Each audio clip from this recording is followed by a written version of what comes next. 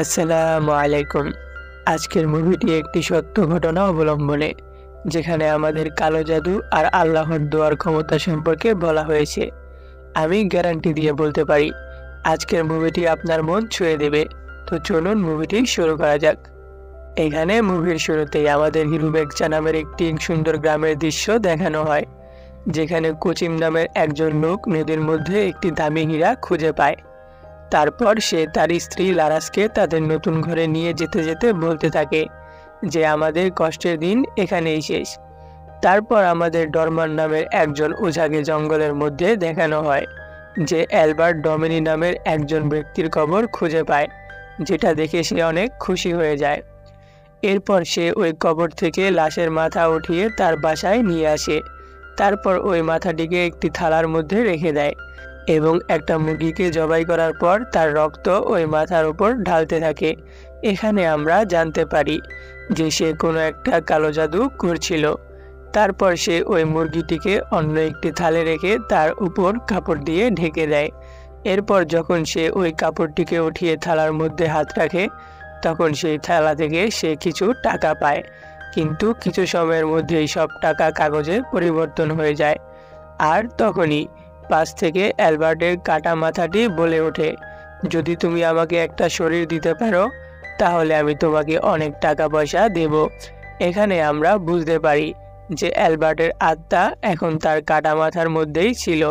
এখন টাকার লোভে পড়ে ডরমানো তাকে একটি শরীর দেওয়ার জন্য রাজি হয়ে যায়। আর অপরদিকে গ্রামের মধ্যে আমাবর্ষা রাতের জন্য সবাইকে সতর্ক করা হচ্ছে, যেখানে গর্ভবতী মহিলাদের বাসা থেকে বের হতে নিষেধ করা হয়েছে। তারপর আমাদের গর্ভবতী লারাসকে দেখানো হয়, যে তার চেক জন্য তাদের গ্রামেরই দাইমা আতিকের কাছে এসেছে। এখানে চেক আপ শেষে আতিক লারাসকে বলে, যদি পরবর্তীতে তোমার কোনো সমস্যা হয়, তো তুমি আর এখানে এসো না, বরং আমাকে খবর দিও, আমি তোমার বাসায় যাব। তারপর দাইমা লারাসকে বাসা পর্যন্ত ছেড়ে দিতে চায়, কিন্তু লারাস বলে, একটু সামনে গেলেই আমাদের লেবার আমাকে বাসায় নিয়ে যাবে। এরপর লারাস একাই বেরিয়ে পড়ে। কিন্তু এখানে সকল গর্ভবতী মহিলাদের বাইরে বের হতে নিষেধ করা হয়েছিল। তারপর আমাদের কোচিমকে দেখানো হয়, যে ওই হীরার জন্য গ্রামের একজন বড় জমিদার হয়ে গেছে। এখানে ঋণ পরিশোধ না করায় সে একজন উজাম নামের লোককে অনেক মারধর করে। তারপর আমাদের আবার লারাসকে দেখানো হয়, যে জঙ্গল পার করে তার বাসায় যাচ্ছিল। তখনই হঠাৎ করে তার পিছনে অনেকগুলো কুকুর লেগে যায়। যাদের থেকে পালাতে পালাতে তার রাত হয়ে যায়। তখনই তার সামনে ডরমান এসে পড়ে, যার থেকে পালাতে গিয়ে সে একটি কবরের মধ্যে পড়ে যায়। আর ওই কবরের মধ্যে পড়ার ফলে সে একটি শয়তানের দুনিয়ায় চলে যায়, যেখানে সে একজন বৃদ্ধ লোককে দেখতে পায়, যেটা আর কেউ না, বরং অ্যালবার্ট ডমিনি ছিল। লারাসকে দেখে সে অনেক খুশি হয়ে যায়, আর তার সাথে জোর জবরদস্তি করতে থাকে। আর অপরদিকে কোচিং গ্রামের কিছু লোককে নিয়ে জঙ্গলের মধ্যে লারাসকে খুঁজতে থাকে। তখনই লারাসের চিৎকারের আওয়াজ শুনে সে তার কাছে পৌঁছে যায় আর দেখতে পারে লারাস সে কবরের মধ্যে পড়ে কান্না করছে। যাকে দেখে মিসার দিক বলে, তার ইমিডিয়েটলি এখনই ডেলিভারি করাতে হবে, নয়তো বাচ্চা বাঁচানো যাবে না। যেটা শুনে লারাসকে ডেলিভারির জন্য সোজা বাসায় নিয়ে আসা হয়। এখানে তার ডেলিভারি করতে অনেক সমস্যা হচ্ছিল। আর অপরদিকে কোচিম সবাইকে বলছিল, লারাসের সাথে জঙ্গলে যা হয়েছে তা যেন গ্রামের কেউই জানতে না পারে। কারণ কোচিম এখন অনেক বড় একজন জমিদার ছিল আর সে অপমান সহ করতে পারবে না। এরপর লারাসের চিৎকার শুনে কোচিম তার সামনে আসে আর ফাইনালি লারাসের কোনোভাবে ডেলিভারি হয়ে যায়। কিন্তু সে কোনো বাচ্চার জন্ম দেয় না, বরং একটি অদ্ভুত টাইপের ডিমের জন্ম দেয়। এখানে মিস আথিক ওই ডিমটিকে তার অ্যাসিস্ট্যান্ট হেথিকে দিয়ে দেয় আর সেটাকে একটি কাপড় দিয়ে ঢেকে রাখতে বলে। কারণ গ্রহণের চলার সময় তার ওপর চাঁদের আলো লাগানো যাবে না। তারপর হেতি ডিমটিকে কাপড় দিয়ে তো ঢেকে রাখে। কিন্তু বাতাসের ফলে সেটার উপর থেকে কাপড় সরে যায় আর সেই অদ্ভুত ডিমটির উপর চাঁদের আলো পড়ে যায়। যার ফলে ডিমের ভেতর যে বাচ্চা ছিল সে বাইরে বেরিয়ে আসে। হেতি যখন ওই বাচ্চাটিকে দেখে তখন সে অনেক অবাক হয়ে যায়, কারণ এই বাচ্চাটির শরীর তো ঠিক ছিল, কিন্তু মাথা ছিল বৃদ্ধ লোকের, আর সে হেতিকে দেখতেই তাকে মেরে ফেলে। এর মানে ওই কাটা মাথাটি এখন একটি শরীর পেয়ে গেছে। সহজ কথায় বলতে গেলে অ্যালবার্টের আত্মা এখন এই বাচ্চাটির মধ্যেই ছিল, আর সে ডরমানকেও টাকা দেয়া শুরু করে দিয়েছে। তারপর কোচিম লারাস কিছু না জানার আগেই হেতির মৃতদেহ সেখান থেকে সরিয়ে ফেলে। যাতে তার বদনামও না হয়, আর তার ছেলের সম্পর্কেও কেউ না জানে। এরপর সে তার ছেলেকে জঙ্গলের ভেতর একদম নর্মাল অবস্থায় পড়ে থাকতে দেখতে পায়, আর সে বাচ্চাটিকে সাথে সাথে উঠিয়ে লারাসের কাছে নিয়ে যায়, আর তারা দুইজন মিলে বাচ্চাটির নাম ডিডি রাখে। এখানে কোচিং কোনোভাবেই মেনে নিতে পারছিল না যে তার বাচ্চা একটি শয়তানের মাধ্যমে জন্ম হয়েছে, কারণ তার কাছে নিজের মান সম্মান অনেক দামি ছিল। এভাবে সাত বছর কেটে যায়, যেখানে আমরা দেখতে পারি কোচিম তার ছেলের সাত বছর উপলক্ষে একটি বিশাল অনুষ্ঠানের আয়োজন করেছে, যেখানে সে অনেক লোকদের ইনভাইটও করেছে। তার এই অনুষ্ঠানে তার পলিটিক্যাল কম্পিটিটর সোলেও তার স্ত্রীর সাথে এসেছে। এখানে বিরোধী দল হওয়ার কারণে কোচিম এটা কোনোভাবেই বিশ্বাস করতে পারেনি যে সোলেও এখানে আসবে। এখানে আমরা জানতে পারি, সোলে আসলে খুবই একটা সাধারণ মানুষ। আর সে অনেক ভালো একটা মানুষ। আর সে কোনো বিচার করলে সেটা খুব সুন্দরভাবেই করে। আর অপরদিকে কোচিম একদমই উল্টো। তার বিচার একদমই অদ্ভুত। আর সে অনেক অহংকারীও ছিল।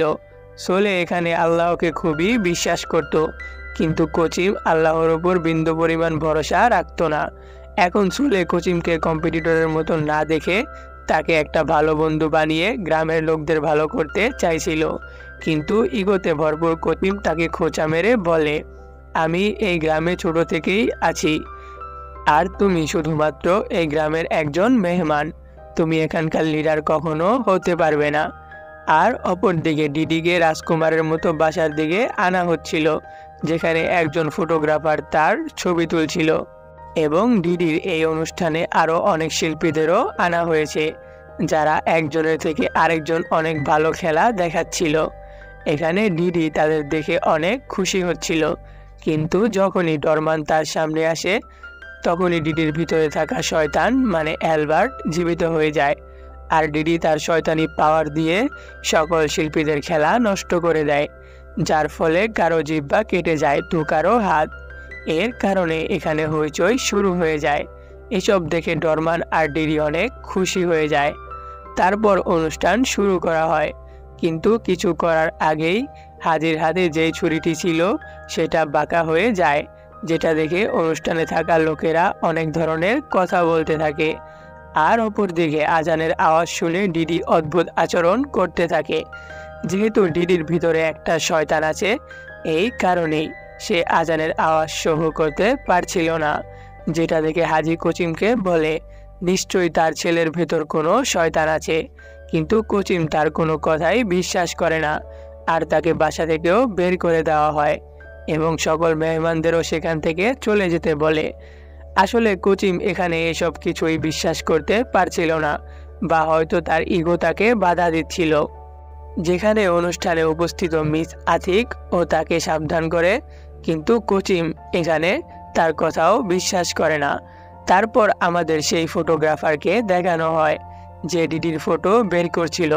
কিন্তু আশ্চর্যের বিষয়, সে ফটোর মধ্যে ডিডির মাথার জায়গায় একটা বৃদ্ধ লোকের মাথা দেখতে পায়, যেটা অ্যালবার্টেরই ছিল।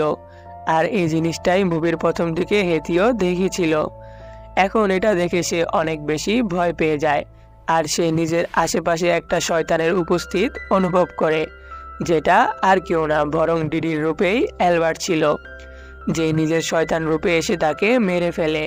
আর অপরদিকে মাঝরাতে কোচিম ডিডিকে চেক করার জন্য তার রুমে আসে। আর সে দেখতে পারে যে ডিডি তার বিছানায় নেই। কিন্তু হঠাৎ করে ডিডি তার বিছানায় এসে পড়ে। কিন্তু কোচিম তার পায়ে রক্ত দেখে বুঝে যায় যে ডিডি কাউকে খুন করে এসেছে। এরপরও কোচিম এটা বিশ্বাস করতে পারছিল না যে তার ছেলে একটা শয়তান। পরের দিন সকালে কিছু বাচ্চারা ডিডিকে শয়তানি আত্মা বলে মজা করতে থাকে। আর এর সাথে সাথে তার ড্রেসও খুলতে থাকে। কিন্তু তখন রিনি নামের একটা মেয়ে লাঠি নিয়ে আসে আর ওই সকল বাচ্চাদের তাড়িয়ে দেয়। এরপর সে ডিডির সাথে নদী পার করতে থাকে। তখন ডিডি তাকে জিজ্ঞাসা করে, আমার যখন অনুষ্ঠান হয়েছিল, তখন কি তোমার অদ্ভুত কিছু মনে হয়নি? যার উত্তরে রিনি বলে, আমার বন্ধু এমাথেরও এখনও অনুষ্ঠান হয়নি। এর মধ্যেই এমাথ সেখানে এসে পড়ে আর রিনিকে নদীতে ফেলে দেয়। এখানে ডিডি তাকে নদী থেকে তো উঠিয়ে নেয়। কিন্তু এর কারণে তাদের দুইজনের ড্রেস পুরোপুরি ভিজে যায়। তারপর অপর দিকে গ্রামের কিছু লোক ডরমানকে বলতে থাকে, শোলে গ্রামের দক্ষিণ দিকের রিচুয়াল সাইট বন্ধ করে দিয়েছে মানে ব্ল্যাক ম্যাজিক করার সাইট তখনই হঠাৎ করে ডরমানের মাথায় অনেক ব্যথা অনুভব করে, যার কারণে সে তার বাসায় চলে আসে। এখানে আমরা জানতে পারি ডরমানের মাথা ব্যথার কারণ ওই কাটা মাথাটির জন্য। কারণ এবার সে ডরমানের ওপর রাগ করেছে, যার কারণে ডরমান তার কাছে মাফ চেয়ে তাকে দাদা বলে ডাকতে থাকে, যেটা খুবই আশ্চর্যের বিষয় ছিল। অপরদিকে সোলে তার বাসায় বসে ইয়াসাকে বলছিল ব্ল্যাক ম্যাজিক সাইট বন্ধ করার পরও কিছু লোক এখনও সেখানে ব্ল্যাক ম্যাজিক করে। যার উত্তর ইয়াসা বলে, যতদিন মানুষ খুব তাড়াতাড়ি বড়লোক হওয়ার জন্য টাকা পয়সার লোভ করবে, ততদিন ডরমানের মতো লোকেরা কালো জাদু করতেই থাকবে। এরপর ডিডি আর রিনি ভেজা অবস্থায় সেখানে এসে পড়ে। এখানে আমরা জানতে পারি, রিনি আর কারও না বরং সোলেরই মেয়ে ছিল। তারপর ড্রেস চেঞ্জ করার পর তারা সবাই খাবার খাওয়ার জন্য বসে পড়ে। আর খাবার খাওয়ার আগে ইউরিন ডিডিকে প্রার্থনা করার জন্য বলে, কিন্তু ডিডি এখানে খাবার খাওয়ার আগে কি বলে প্রার্থনা করে এটা জানতো না। যার কারণে সে এখান থেকে খাবার না খেয়েই চলে যায়। আর আমরা জানতে পারি যে সে এখানে প্রার্থনা কেন করছিল না, কারণ তার ভেতর একটা শয়তান ছিল। তারপর আহমাদ নদীর কিনারে ডিডিকে দেখতে পায়, যার কারণে সে তাকে ধাক্কা মেরে নদীতে ফেলে দেয়। তখনই ডিডি তার শয়তান রূপে পরিবর্তন হয়ে যায়, যেটা দেখে আহমাদ ভয়ে সেখান থেকে পালিয়ে যায়। আর অপরদিকে আমরা দেখতে পারি, একটা ঘোড়া পাগল হয়ে দৌড়ানো শুরু করে, কারণ সে শয়তানকে দেখেছিল। আর সে ঘোড়াটি দৌড়াতে দৌড়াতে আহমাদের ওপর দিয়ে চলে যায়, যার কারণে তার একটি পা খুবই ভয়ানকভাবে কেটে যায়। তারপর ডিডি বাসায় এসে বাড়ির উঠানে সাইকেল চালাতে থাকে। আর তখনই তার বাসায় ইউরিন আর রিনি চলে আসে, যে সেখানে ডিডির জামা আর কিছু খাবার নিয়ে এসেছে। এখন লারাস রিনিকে ডিডির সাথে খেলা করার জন্য তাকে বাড়ির উঠানে পাঠিয়ে দেয়, যেখানে প্রথমে তো রিনি ডিডিকে দেখতে পায় না। কিন্তু যখন সে তার সামনে আসে, তখন সে তার মুখের ভেতর রক্ত দেখতে পায়। কিন্তু রিনি সেটাই বেশি গুরুত্ব না দিয়ে ডিডির সাথেই খেলা করতে থাকে। আর অপরদিকে ইউরিন লারাসকে নামাজ পড়া সম্পর্কে জিজ্ঞাসা করে। কিন্তু লারাস এখানে নামাজ পড়া জানতো না। এই কারণেই সে এখান থেকে যাবার আগে একটু চিন্তিত ছিল। কারণ লারাসের ফ্যামিলি ধার্মিক ছিল না। কিন্তু ইউরিন এখানে তাকে সব দিক থেকে সাহায্য করতে চাইছিল। যার ফলে সে ফাইনালি তাকে নামাজ পড়ার জন্য মানিয়ে নেয়। অপরদিকে ডিডি রিনিকে সাইকেল চালানো শেখাতে থাকে আর সাইকেল চালানোর সময় রিনিকে কুয়ার মধ্যে পড়ে যাওয়া থেকেও বাঁচিয়ে নেয় আর সব সময় তাকে রক্ষা করার ওয়াদাও করে। তারপর লারাসও নামাজ পড়ার জন্য তৈরি হয়ে এসে পড়ে। ঠিক ওই সময় সেখানে কুচিমও এসে পড়ে, যে কিনা আহমাদের বাবা মাকে টাকা দিয়ে সব কিছু গোপন রাখতে বলছিল। যখন লারাস তাকে জিজ্ঞাসা করে যে কি হয়েছে, তখন সে বলে যে তাদের ঘোড়া পাগল হয়ে আহমাদের পা কেটে ফেলেছে। এটা শুনে লারাস ও আহমাদের বাসায় যেতে চায়। তার সাথে ইউরিনও যাওয়ার জন্য তৈরি হয়েছিল। কিন্তু কোচিম এখানে তার কম্পিটিটর মানে সোলের স্ত্রীকে দেখে অনেক অদ্ভুত ফিল করে আর তার সাথে অনেক খারাপ আচরণও করে। তারপর লারাস ইউরিনের সাথে আহমাদের বাসায় পৌঁছে যায়। যেখানে আহমাদ ঘুমের মধ্যে বারবার ডিডির শয়তানি রূপে পরিবর্তন হওয়ার কথা বলছিল। অপরদিকে কুচিম পশু পাখির খামার থেকে একটি ছাগলের লাশ দেখতে পায়, যেটা দেখে সে বুঝে যায়, এটা তার ছেলে ডিডিরই কাজ। আর একটু আগেই আমরা দেখেছিলাম ডিডির মুখে রক্ত লেগেছিল মানে সে এই ছাগলের রক্তই পান করেছে। এরপর রাত্রে লারাস ডিডির কাছে আহমাদের কথা জিজ্ঞাসা করে, কারণ আহমাদ বারবার ডিডির নাম নিচ্ছিল। কিন্তু ডিডি এখানে তার মাকে কিছুই বলে না। তারপর কুচিম তার চাকরকে বলে, অন্য এলাকায় লোক তো আমাকে সাপোর্ট করছে, কিন্তু আমার এলাকার লোক টাকা নিয়েও সোলেকে সাপোর্ট করছে। তখনই সেখানে হঠাৎ করে ডরমান এসে পড়ে, যে কিনা কোচিমকে জিতার জন্য সাহায্য করতে চাইছে। কিন্তু কোচিম ডরমানের অফারকে রিজেক্ট করে দেয়, কারণ সে নিজের বুদ্ধিতেই ইলেকশন জিতবে। আসলে এখানে ডরমান কালো জাদুর কথা বলছিল আর এখানে সে কোচিমের না বরং নিজের সুবিধা দেখছিল, কারণ শোলে এখানে সকল কালো জাদুর সাইট বন্ধ করে দিচ্ছিল, যেটা ডরমানের জন্য খুবই খারাপ একটা বিষয় ছিল। আর ডরমান এখানে চাইতো যে কোচিমের মতো মানসিক গ্রামের লিডার হোক, কারণ সে একদমই ধার্মিক ছিল না, আর যেমন লিডার হবে তেমনই তো গ্রামের লোক হবে। তারপর আমরা দেখতে পারি ইউরিন লারাসকে ডিডির সামনে পড়ার জন্য কিছু দোয়া দিয়েছে। যেটা পড়ার ফলে তার ভিতর থেকে শয়তান চলে যাবে। কিন্তু যখন লারাস ডিডির কাছে যায়, তখন সে খুবই চালাকির সাথে তার হাতে বানানো একটি ড্রয়িং ধরিয়ে দেয়, যেটা তার ফ্যামিলির ড্রয়িং ছিল। এখন এই ড্রয়িং দেখে লারাস অনেক ইমোশনাল হয়ে যায় আর খুশিও হয়। আর সে কোচিমকে বলে, সে ভুল ছিল। সে তার ছেলে সম্পর্কে উল্টাপাল্টা ভেবেছে। আর সে আরও বলে, তার এমনটা মনে হচ্ছে যেন সে প্রেগনেন্ট এটা শুনে কোচিম অনেক অবাক হয়ে যায়।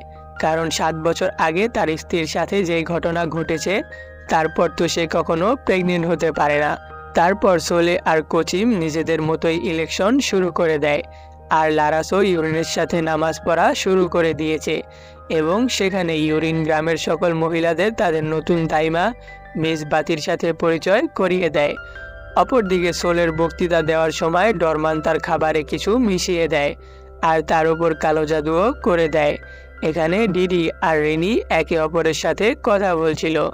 যার বাবাই ইলেকশনে জিতুক, তারা দুইজন কখনো তাদের বন্ধুত্ব নষ্ট করবে না। তখনই সেখানে আহমাদ এসে ডিডিকে দেখে পালিয়ে যায়। আর রিনিও ডিডিকে তার মায়ের প্রেগনেন্ট হওয়ার খবর জানিয়ে দেয়। আর এই কথা শুনে ডিডি সোজা তার মা লারাসের কাছে চলে যায়। আর তাকে জড়িয়ে ধরে।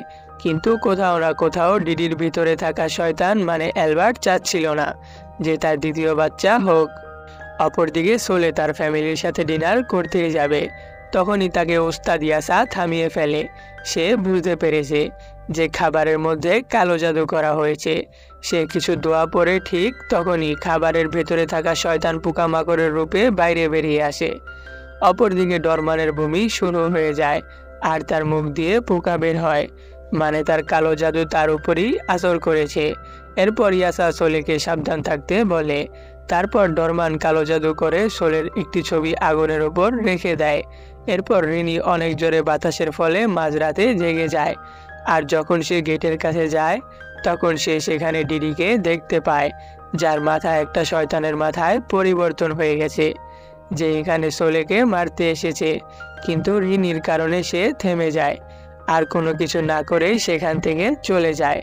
এখানে ডিডি তো একজন বাচ্চা ছিল, কিন্তু তার ভেতরে থাকা শয়তান ঋণীর বন্ধুত্ব নিয়ে এতটাই সিরিয়াস ছিল যে সে এখানে থেমে গেছে। আর সবচেয়ে বড় কথা এটাই, এখানে ডিডির কোনো দোষ নেই। যদি কারও দোষ থাকে, তো এটা হলো অ্যালবার্টের আত্মা আর ডরমানের। এখন আবার দ্বিতীয়বারের মতো ডরমানের কালো জাদু ফেল হয়ে যায় ঋণীর কারণে। এরপর যখন রিনি সবাইকে ডিনির শয়তানি রূপের কথা বলে, তখন ইয়াসা সাথে সাথেই বুঝে যায়, এই শয়তান আর কেউ না, বরং অ্যালবার্ট ডমিনিক, যে কিনা প্রথমে গ্রামে একজন ধনী ব্যক্তি ছিল, যার বানরের ব্রেন খাওয়ার শখ ছিল, আর গ্রামে যারা তার বিরোধ করত, সে তাদের উপর অত্যাচার করত, এবং গ্রামের মহিলাও মেয়েদের সাথে নোংরামিও করত। এসবের কারণে একদিন গ্রামের লোকেরা তার হাত পা আলাদা করে দেয় আর তাকে মেরে ফেলে। আর এই কারণে যখন ডিডির ভেতরে থাকা অ্যালবার্ট বাইরে আসে, তখন শুধুমাত্র তার চেহারাই দেখা যায়, কারণ তার হাত পা তো আগে গ্রামের লোকেরা কেটে ফেলেছে। এরপর ইয়াসা এটাও শিওর হয়ে যায়, শুধুমাত্র ডরমানি অ্যালবার্টের আত্মাকে জাগিয়ে ডিডির দেহকে ভিডিও গেমের মতো ব্যবহার করতে পারে। আর পুরো গ্রামে এটাও ছড়িয়ে যায় যে ডরমান অ্যালবার্টের অবৈধ নাতি। আর সবচেয়ে বড় কথা, ইয়াসা আর ডরমান একই গরুর কাছে ট্রেনিং করেছে। কিন্তু ডরমান তার ক্ষমতাকে খারাপ কাজে ব্যবহার করছিল মানে কালো জাদুতে। অপরদিকে ইয়াসা এখানে ভালো কাজ করত, আর শেষ এই গ্রামে শুধু ছাত্রদের পড়ানোর জন্য নয়, বরং ডরমানকেও থামাতে এসেছে। তারপর ডিডি বাসায় এসে লারাসকে বলে, সে তার মায়ের পেটের বাচ্চাকে রক্ষা করার জন্য স্কুলে যায়নি, কারণ যদি এটা কেউ জেনে যায় তো ফিউচারে আসা বাচ্চার জন্য ক্ষতিকর হতে পারে। কারণ ডিডি এখানে জানতো, তার ভেতরে থাকা অ্যালবার্ট এই বাচ্চাটিকে দুনিয়ায় আসতে দিতে চায় না। আর এখানে সে অনেক বেশি ভয়ে ছিল। আর অপরদিকে, আরএস মানে কোচিমের চাকর তাকে বলে যে, বেয়াদান এরিয়ার লোকও তাকে ভোট দেবে। যদি সে তাদের আরও কিছু টাকা দেয়, এখন এটা শুনে কোচিম অনেক বেশি খুশি হয়ে যায়। আর তাদের আরও টাকা দেওয়ার পারমিশন দিয়ে দেয়। তারপর আমরা দেখতে পারি ডিডি সাইকেল চালাতে গিয়ে কুয়ার ভেতর পড়ে যায়। কিন্তু যখন লারাস তাকে বাঁচানোর জন্য আসে, তখন সে অ্যালবার্টের রূপ ধরে উল্টো লারাসকেই কুয়োর মধ্যে ফেলে দেয়। কারণ অ্যালবার্ট এখানে চাইতো যে লারাস কোনো বাচ্চা জন্ম না দেখ। এখন কুয়োর মধ্যে পড়ে যাওয়ার পর লারাস প্রার্থনা করতে থাকে, যার ফলে ডিডি জোরে জোরে চিৎকার করতে থাকে। আর তার চিৎকারের আওয়াজ শুনে কোচিং বাইরে এসে কুয়োর মধ্যে লাফ দিয়ে লারাসকে বাঁচিয়ে নেয়। তারপর ইউনি লারাসকে চেক করে বলে যে সে আর তার বাচ্চা একদমই সুরক্ষিত আছে। কিন্তু জ্ঞান ফেরার পর লারাস বলে, ডিডি তাকে কুয়োর মধ্যে ধাক্কা দিয়ে ফেলে দিয়েছে। অপরদিকে আর এস দিকের কাছে টাকা নিয়ে পৌঁছে গিয়েছে।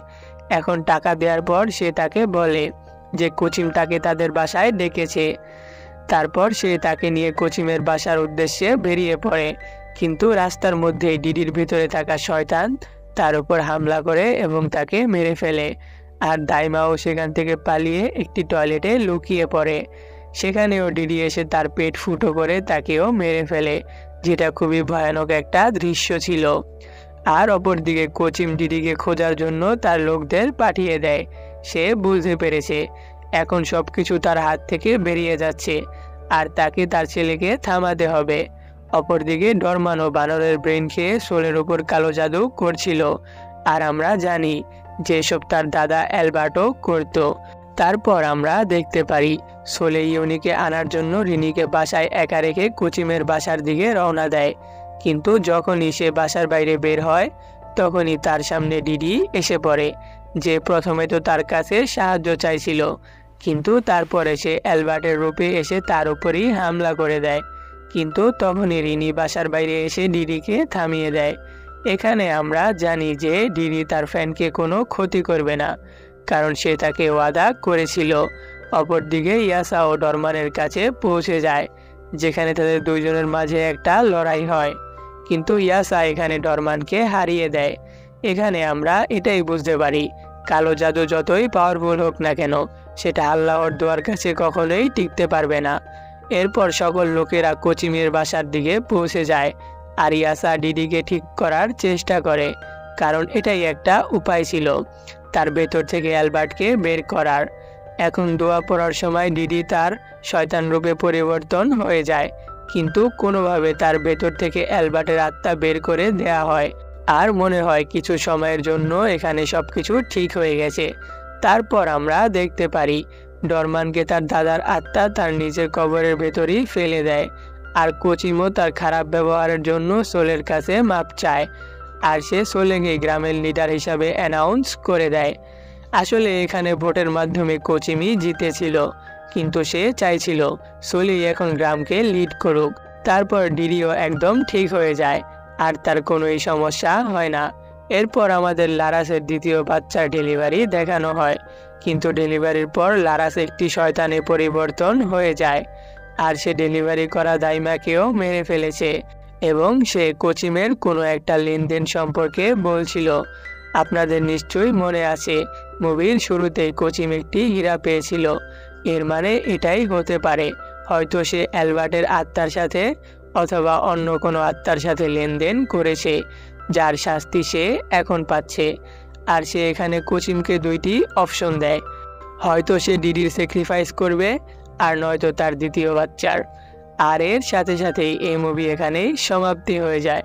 তো বন্ধুরা, এটাই ছিল ভাই আজিব মুভির কাহিনী। মুভিটি কেমন লেগেছে? অবশ্যই কমেন্টে জানাবেন। আর আমি আজ থেকে আবার ইউটিউবে রেগুলার হয়ে গেলাম। ইনশাআল্লাহ আপনারা সাপোর্ট করলে আরও অনেক ভালো ভালো মুভি আপনাদের উপহার দেব। তো আল্লাহ হাফেজ, টাটা।